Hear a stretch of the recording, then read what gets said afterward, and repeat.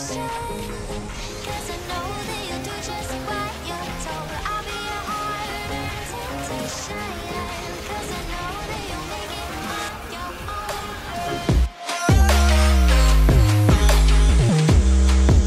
Fala molecadinha, tudo beleza? Aqui é o seu Manuel, bem sejam bem-vindos a mais um vídeo, galera No vídeo de hoje eu trago a vocês um vídeo para nós falarmos aqui sobre atualizações em gerais do PES 2021, né pessoal? Hoje nós não iremos falar especificamente da DLC 2, 3 ou 4.0, não nós iremos falar sobre as atualizações do game, sobre as atualizações em geral, não só sobre DLC, mas sim sobre as atualizações semanais. Eu vou explicar como tudo vai funcionar para vocês nesse ano, porque tem gente que tem o PES e não sabe como essas simples coisas que básicas funcionam, né, velho? Então eu vou explicar para vocês quantas DLCs devem vir no PES, quais conteúdos devem vir através das atualizações, através das atualizações semanais, das DLCs. Então fica ligado até o final do vídeo que o vídeo hoje será bem importante para você que tem o PES e quer saber melhor como vai funcionar essa temporada de PES 2021 até ser lançado o PES 2022 no ano que vem, tranquilo? Então lembrando, clica no gostei aqui abaixo, também se inscreve aqui no canal para não perder mais nenhum vídeo do que eu irei trazer para vocês nos próximos dias de PES e FIFA aqui no canal também, tranquilo? Então sem perder tempo, pessoal, bora pro vídeo. Lembrando, se puderem me seguir no Instagram, está aqui na tela, se preferir, está aqui na descrição. Vão lá, me sigam, me dê essa força, porque lá vocês sempre acompanham conteúdos exclusivos aqui que não saem no canal, tranquilo? Então vão lá e me sigam também.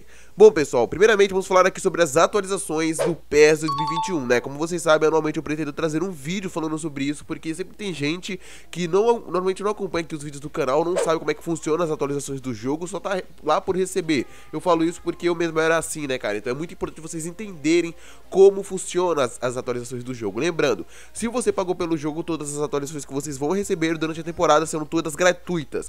Então não tem atualização no qual a Konami cobra, né? A Konami não cobra por nenhuma atualização que eles lançam. Esse é o mínimo que devia acontecer, porque você já cobra pelo jogo, não seria justo vocês serem cobrados também para receber a atualização no qual é a mesma que serve para deixar o jogo vivo o ano todo. Porque vocês concordam comigo que o jogo, o futebol muda de mês em mês, de mês em mês transferências acontecem, novos uniformes são apresentados, então não teria como eles lançarem um jogo hoje de futebol e deixar ele da mesma forma um ano inteiro. Não, então eles vão lançando atualizações para ir corrigindo isso. E eles separam isso em duas partes. Temos as atualizações semanais. As atualizações semanais, pessoal, como o próprio nome já fala, sai uma por semana. Ela sai todas as quintas-feiras, inclusive saiu uma hoje, por exemplo. E o que, que ela faz? Ela basicamente inclui novas campanhas para o MyClub, apesar dessa semana não ter incluído, normalmente isso acontece, e a partir da próxima isso já deve acontecer também. Novas campanhas do MyClub, novos eventos também do Match Day para quem joga esse modo também possui novos eventos renovados para o, a atualização semanal, além também das atualizações de cortesia, da avaliação de cortesia dos jogadores. Então vamos supor que ele está em boa fase, está em má fase, ele vai receber uma nota. E no dia A, AD, se não me engano, falando assim, se a sua fase está positiva ou negativa. Então se o jogador está em excelente fase, ele vai receber uma avaliação de cortesia A. E além disso também, né, pessoal, além de algumas modificações também no geral feitas no MyClub, eles também atualizam os times europeus. Então as transferências do mercado europeu eles atualizam através dessa atualização semanal. Então a atualização que sai todas as quintas-feiras sempre inclui esse tipo de conteúdo. Então toda quinta-feira essa atualização irá persistir aí para vocês no seu game. Essas atualizações que acontecem em sentido transferência acontecem apenas com os times europeus, porque segundo a Konami eles não conseguem executar os mesmos para os times brasileiros. Isso porque o Brasil é muito desorganizado, então é muito difícil eles conseguirem, é, é vamos dizer que, retratar uma transferência na vida real já no game. Então, como vocês sabem, quem joga PES há um pouco mais tempo já tá ligado que quando acontece uma transferência na vida real, só vai demorar uns 3, 4 ou até 6 meses para estar presente no jogo. Então, é essa bagunça, como é na Konami, como é aqui no Brasil também, então essa combinação é claro que não ia dar muito certo. Então, infelizmente, as atualizações semanais, além de incluir todos esses outros recursos, apenas atualizam os times europeus europeus. Então os times europeus se executar uma transferência hoje, por exemplo, o Garrett Bale no Tottenham, amanhã ele já vai estar na sua equipe, né, cara, através da atualização semanal, mas infelizmente o Brasil, isso já leva um pouco mais de tempo. Bom, Manuel, se o Brasileirão não será atualizado através dessa atualização semanal, quando é que ele deve ser atualizado? Sim, agora vem um ponto base. Não terá apenas atualização semanal nessa temporada, mas também eles irão lançar pacote de dados, ou seja, as próprias DLCs. Eu acredito que a DLC desse PES 2021 deve sair por volta de 6 ou 5, por esse número deve ser no máximo. Por quê? No PES 2020 vocês se recordam que saíram 9 DLCs, sim, eles incluíram 9 pacotes de dados para deixar o jogo atualizado. Não só para deixar o jogo atualizado, mas eles também foram foram obrigados a lançar mais para corrigir os problemas que eles mesmos incluíram, né, cara? DLCs vieram e problemas também junto a eles vieram, então eles tiveram que lançar outros pacotes de dados também para corrigir esses problemas, né, pessoal? Então, por isso que o número foi tão alto nessa última temporada. Eu acho que para o PES 2021, apesar do jogo já não ter tido grandes modificações assim em relação à temporada anterior, eu acho que terá poucas modificações, porque eles estão com foco totalmente voltado para a produção do PES 2022. É claro que eles não irão lançar tantas atualizações, tanto pacote de dados assim no PES 2021, né? Porque como vocês sabem, eles não tiveram nenhum trabalho de produzir um novo jogo. Quem dirá lançar muitos pacotes de dados? Então acho que as atualizações através das DLCs se bastará a 5 ou 6 no máximo, que deve sair de 2 em 2 meses, né, pessoal? A próxima vocês já estão ligados que vai sair no próximo dia 22 de outubro, então deve sair por volta disso. DLC costuma ser um pacote um pouco mais extenso do que a atualização semanal, inclui bem mais conteúdos do que a atualização que sai por semana aqui por nós. Normalmente uma DLC pode incluir uma nova liga, quem sabe, apesar de não acontecer há muito tempo, já teve sim DLC que incluiu novas ligas no game, pode incluir também novos estádios, né pessoal, apesar do PES 2020 ter incluído muito pouco, as DLCs também vêm para isso, pode incluir, é claro, as atualizações para os times brasileiros, porque infelizmente os times brasileiros estão sendo atualizados devido à DLC e não a atualização semanal que viria para isso, né pessoal, mas infelizmente os times brasileiros em, em exclusivo serão atualizados através das DLCs, além também de novas faces, né pessoal? Novas faces também devem chegar através das DLCs e um pacote bem completinho de 50, 60 novas faces, é o que eles costumam incluir anualmente. Também uma renovação da pontuação dos jogadores. Como vocês sabem, eles pegam o momento atual dele, não apenas pegam a avaliação de cortesia, mas analisam um pouco mais tempo e se ele merecer, se o jogador merecer, ele tem um aumento ou redução do seu overall. Então eles, eles fazem isso também através das DLCs. Então se o Neymar estiver arrebentando,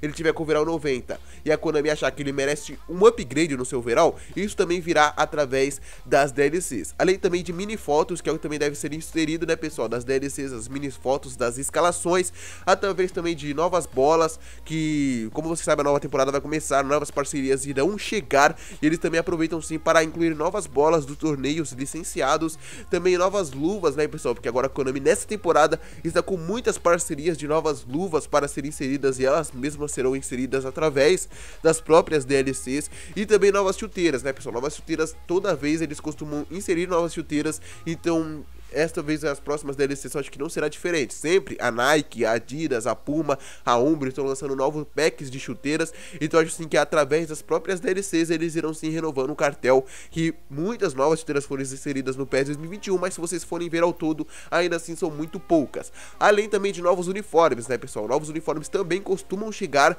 através das DLCs. Eu acho que as próximas, em específico, irão incluir muitas, porque muitos novos uniformes não estão presentes, principalmente os uniformes alternativos das próprias equipes parceiras, né, pessoal? Como o Barcelona não possui ainda o um novo uniforme, então acho sim que todos esses uniformes, até de alguns times brasileiros também, devem chegar já nas próximas DLCs. É claro que o que eu falei para vocês é o básico que costuma chegar através das atualizações, é o básico que costuma conter em todas, né, pessoal? Então isso é o que nós podemos esperar, mas podemos também chegar outras coisas, quem sabe também um novo técnico para Master League, um novo avatar, podem chegar também, quem sabe, o novo painel de fundo da coletiva de imprensa. Então tudo isso também pode pintar, né, pessoal? Apesar de ser muito pouco comum de acontecer, também pode acontecer. Então qualquer conteúdo do jogo pode chegar através da DLC. O que eu não sei para vocês é o que muito difícil pode acontecer de chegar, é o que muito pouco comumente chega, né, pessoal, através da DLC. Mas também pode vir, né, pessoal? Qualquer outro conteúdo do jogo pode vir com a própria DLC. Então, se tiver que vir algum conteúdo um pouco mais extenso, não só apenas atualizações para os modos online ou para as equipes europeias virão sempre através das DLCs. Mas o que eu sei pra vocês é o básico, que toda DLC deve conter. É claro que nova liga, isso é muito difícil de acontecer, mas é o que pode também chegar através de uma DLC ou até outro conteúdo que eu não sei aqui pra vocês através desse vídeo. Então, fiquem ligados nessa temporada do PES, lembrando, as atualizações serão, chegarão sempre no dia marcado, eu irei trazer sempre um vídeo falando pra vocês em específico qual conteúdo virá. Ainda não temos, é claro, informações quanto ao assunto, mas assim que tivermos, eu irei trazer o dia, o conteúdo que virá. Lembrando também todas as atualizações que eu sei pra vocês são gratuitas, então vocês não vão pagar nenhum centavo por ela, então todas elas virão gratuitamente pra vocês só irem lá e instalar. Você só precisa mesmo do jogo, da cópia do jogo e acesso à internet, pra vocês conseguirem sim fazer o download de todas essas atualizações. E ficam disponíveis tanto para o PlayStation 4, Xbox One e pra galera do PC. Então qualquer console que você estiver, se você estiver com o PES 2021, você será apto a baixar todas as atualizações do jogo. Então achei muita importância trazer esse vídeo para melhorar o entendimento de todo mundo que não sabe como é que funciona na prática uma DLC. Então acho que é bem importante vocês entenderem melhor como é que funciona, o que, que a atualização semanal inclui, o que, que uma DLC inclui, para vocês ficarem de olho nessa temporada do PES 2021, não só no 21, mas como no 22, eu acho que os próximos também funcionarão dessa forma. Então por isso que se você joga PES é de extrema importância vocês entenderem como é que funciona as atualizações do game, que é muito diferente do que a EA Sports também. E algo que eu esqueci de citar para vocês também, uma DLC sempre inclui um patch corretivo de jogabilidade. Se você ficou até agora, você pegou isso também, né? Porque eu esqueci de falar anteriormente, mas sim, pessoal, todo o a DLC que vem inclui um patch corretivo de jogabilidade, que é um patch que corrige os problemas do jogo, não só os problemas, mas também insere novos recursos para deixar a gameplay um ainda melhor, né, pessoal? A gameplay e a jogabilidade ainda melhor. Então toda a DLC costuma incluir isso, então é algo que não é surpresa se vir, porque sempre a Konami costuma incluir esse patch de jogabilidade em todos os pacotes de dados. Espero que vocês tenham curtido o vídeo de hoje, lembrando, clica no gostei aqui abaixo, se inscreve no canal para vocês ficarem por dentro de tudo da temporada do PES 2021 e também do FIFA, então se inscreve aqui para não perder mais nada, me segue no Instagram também. Eu fui por aqui, pessoal, até a próxima e falou!